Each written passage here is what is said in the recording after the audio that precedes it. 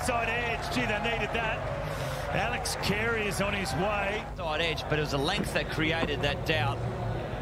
Cross seamer, just a little bit there, a bit unlucky. Inside edge on either his elbow or his